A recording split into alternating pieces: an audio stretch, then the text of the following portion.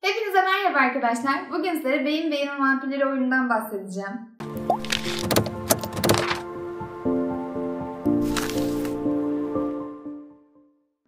Oyunumuz 7 yaş ve üzeri çocuklarımız için uygun bir oyundur. En az 2 kişi, en fazla 4 kişi oynayabileceğiniz eğlenceli bir oyundur.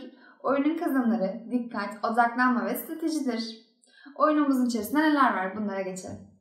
Arkadaşlar oyunumuzun içerisinden 4 adet oyun platformu çıkıyor şu şekilde. Oyun içerisinde toplamda 24 adet renk kartları bulunmakta. 18 adet kan grubumuz var. 24 adet vampir kartlarımız var.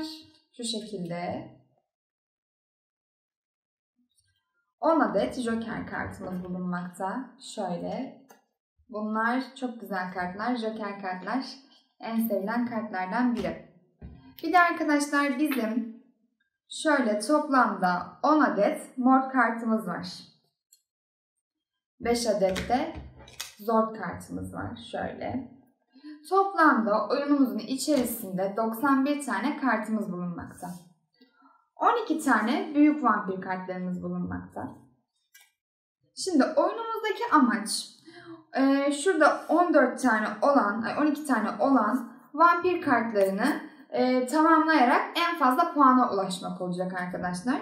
Peki nasıl puana ulaşacağız? Nasıl vampirleri yiyeceğiz? Oyunu şöyle oynuyoruz arkadaşlar. E, oyunumuzun masamızın üzerine bu 12 tane olan vampir kartlarını açıyoruz. E, Joker kartını istersek kan olarak, istersek renk olarak, istersek de vampir resmi olarak kullanabiliyoruz. E, üçlü kombin yapmamız lazım. Yani kan grubu, renk ve de arkadaşlar vampir. Şimdi şöyle göstereyim. Diyelim ki yeşil renkte e, şurada görmüş olduğunuz kızı kazanmak istiyorsunuz. Bunun için 0 RH pozitif yani şuradaki 0 RH pozitif ve yeşil renk. Şu üçlü kombini yaptığınız zaman arkadaşlar bu karta sahip oluyorsunuz. Şurada bulunan kartları da e, çöpe atıyorsunuz. Yani oyun dışına çıkartmış oluyorsunuz. En fazla karta sahip olan oyuncumuz oyunumuzu kazanacak. Bir de arkadaşlar bizim puanlama sistemimiz var. Sistemimiz bulunmakta. Ee, her büyük kart için yani elimizde ne kadar fazla büyük kartımız varsa o kadar fazla puana sahip olacağız aslında. Her büyük kart için 5 puanımız var. Yani senin 5 tane büyük kartın varsa 25 puan aldın demektir. Ama şöyle bir durum var. Her üçlü puan için yani üçlü setimiz var arkadaşlar. Aynı kızın e, şöyle göstereyim hemen. Hmm, şöyle ya da şuradan göstereyim. Arkadaşlar bu şekilde renklerde üçlü set yaptığınız zaman bu da ekstra 5 puan olarak size geçecek. Bir de e, aynı setlerin kan grubu olarak da yapabilirsiniz. 0 pozitif kan grubu, B pozitif kan grubu, A pozitif kan grubu şeklinde de yaparsanız yine ekstradan size 5 puan yansıyacak arkadaşlar. Oyunumuzda renkler ve e, puanlar yani renkler ve kanlar ve vampirlerin görünümleri çok önemli. Bir de arkadaşlar şöyle bir durumumuz var.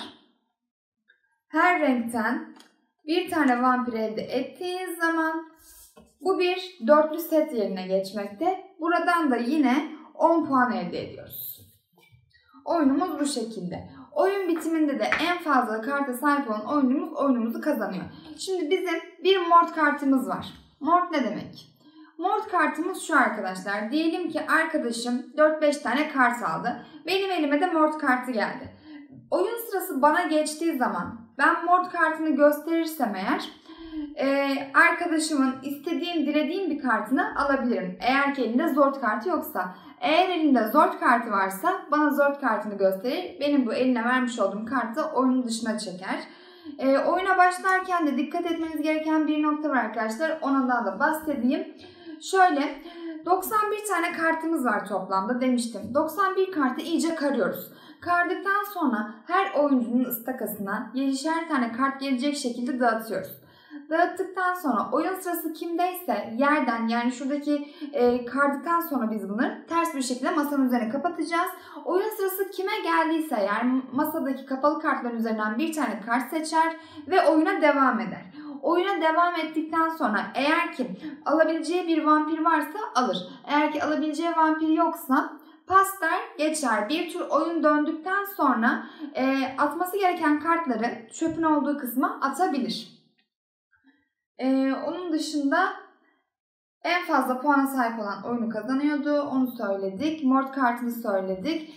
Şunu söylemedik arkadaşlar. Joker kartımız. Joker kartımız ne işe yarar? Joker kartımız istersek bunu kan grubu olarak kullanabiliriz. İstersek renk olarak kullanabiliriz. istersek vampir olarak kullanabiliriz. Ee, bir oyunda yani birden fazla e, Joker kullanabilirsiniz. Diyelim ki sizin iki tane Joker'iniz var. Bir tane de kan grubunuz var. İki, iki olarak da kullanabilirsiniz. Birini işte renk olarak kullanırsınız. Birini de vampir olarak kullanabilirsiniz. Bu size kalmış. Yani oyun esnasında birden fazla Joker kart kullanabiliyorsunuz. Onun dışında arkadaşlar e, Joker kartların dışında şöyle bir şey de yapabilirsiniz. Elinizde diyelim iki tane benzeyen yani iki tane oyun platformundaki 12 karttan birini alabilecek kart varsa e, bir tane önce birisini alırsınız sonra diğerini alırsınız. Hatta elinizde mort kartı varsa rakibinize mort da çekebilirsiniz arkadaşlar. Bu size kalmış bir şey. Oyunumuz gayet eğlenceli, güzel bir oyun. Ee, ben anlatırken bayağı keyif aldım. Umarım sizler de dinlerken keyif alacaksınızdır diye düşünüyorum. Oyunun detaylı şekilde oynanış videosunu da çekeceğim arkadaşlar sizler için. Aklınızda bir soru işareti olmasın, daha detaylı öğrenelim, e, takılmadan oynayabilelim diyerekten oynayacağım arkadaşlar. Oyunun videoyu umarım beğenmişsinizdir. Beğendiyseniz beğenmeyi, kanala abone değilseniz abone olmayı unutmayınız. Beni desteklemeyi lütfen unutmayın. Ee, arkadaşlar oyunu eğer sizler de almak istiyorsanız diyerekten ben aşağıya aldığım yerin linkini bırakacağım. Oradan ulaşabilirsiniz oyuna. Oyunu ve videoyu beğendiyseniz beğenmeyi, kanala abone değilseniz abone olmayı unutmayınız. Bir sonraki videoda görüşmek üzere. Şimdilik hoşçakalın. done